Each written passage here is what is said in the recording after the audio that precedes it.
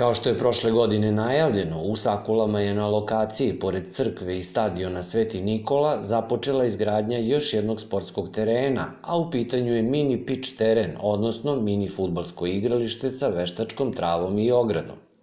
U subotu 8. juna sprovedeni su radovi na lokaciji čišćenja i pripreme i već u utorak 11. juna krenulo je postavljanje prvog osnovnog sloja podloge, a radove je obišao predsjednik opštine dr. Zoran Tasić zajedno sa svojim saradnicima.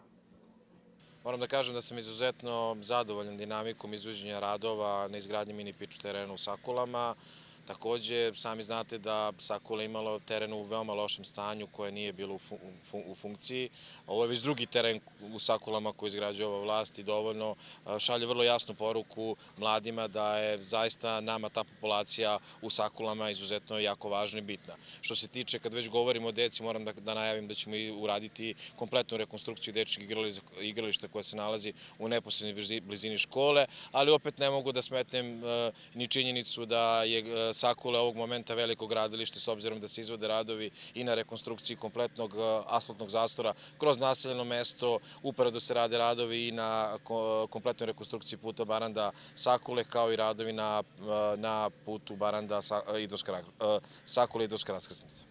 Projekat većim delom finansira opština Opovo uz dodatno sufinansiranje pokrenjskog sekretarijata za sport i omladinu, a kako kažu nadležni, ovi sportsko-rekreativni tereni poslužit će kako za one najmlađe, tako i za onu nešto stariju populaciju.